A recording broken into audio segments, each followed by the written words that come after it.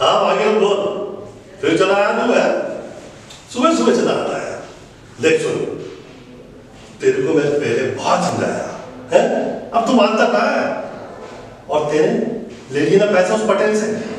और जब रो रहा है तो मेरे पास आया।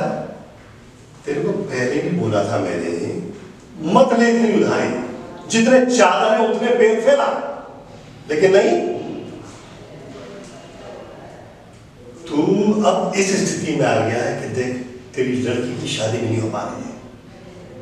कितना फंसा हुआ है और जब फंस गया तो बोले, मुझे बचाओ। अब मैं किस किस को बचाऊं?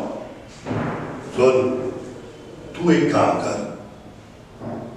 अपनी ज़मीन के कागजात सबसे पहले निकलवा दे। कैसे भी करके उस पटेल से? और फिर मैं देखता हूँ कैसे तेरी मदद करता हूँ। चल जा, चिंता मत कर। देख लेंगे